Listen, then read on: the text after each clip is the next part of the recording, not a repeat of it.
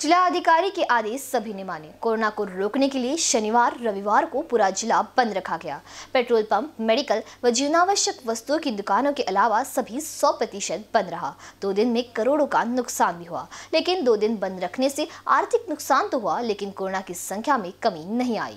बंद रखने से क्या कोरोना थम गया? यह सवाल वाड़ी की जनता ने उपस्थित किया।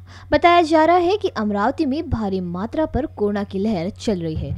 फिर भी अमरावती से नागपुर नागपुर से अमरावती की ओर प्रवासी बसें व वाहनों का आवागमन चल रहा है। क्या बसों के प्रवासियों के माध्यम से अमरावती से नागपुर कोरोना का फैलाव नहीं हो रहा? इसकी जाँच के लिए कोई सुविधा भी नहीं है। दो दिन के बंद के बाद भी नब को सोमवार को कोई कार्रवाई करनी पड़ी है? कोरोना के नाम पर व्यवसाय ठप हो रहा है। पहली बार कोरोना की मार झेली है। अब नहीं झेल सकते। कोरोना के नाम पर व्यवसाय ठप हो रहा है। कर्ज लेकर व्यवसाय खड़ा किया। दो दिन बंद रखने से क्या कोरोना कम होगा? सरकार सरकार बंद रखकर आर्थिक नुकसान क्यों झेल रही है? ऐसा सवाल वाड़ी के एक व्यवसायी गणेश नीत नवरे ने प्रस्तुत किया। शनिवार को चाय बंद, लेकिन शराब शुरू थी। दो दिन में करीब तीन से चार हज़ार का नुकसान हुआ। बंद करने से कोरोना नहीं थमेगा। दुकानें बंद न करें, आर्थिक नुकसान से बचे, ऐसा कंट्रोल वाड़ी के एक चाय वाले सोपान लिचड़े ने कहा।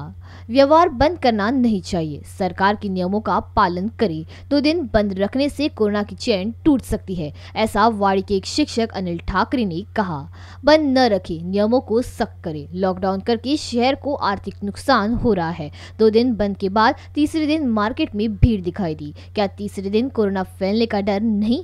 ज़िले को बंद रखना उपाय नहीं है, ऐसा वाड़ी के पत्रकार सौरभ पाटिल का कहना था। पहले सरकार ने पेट्रोल में सौ रूपए की बढ़ोतरी की, लेकिन दो दिन के लॉकडाउन ने हमारी कमर तोड़ दी है। मरे की जिए कुछ समझ नहीं आ रहा है। ऐसा एक ऑटो चालक गजानंद खेड़कर का कहना है। बीसीएन न्यूज़ के लिए वाड़ी से सौरभ पाटिल की रिपोर्ट।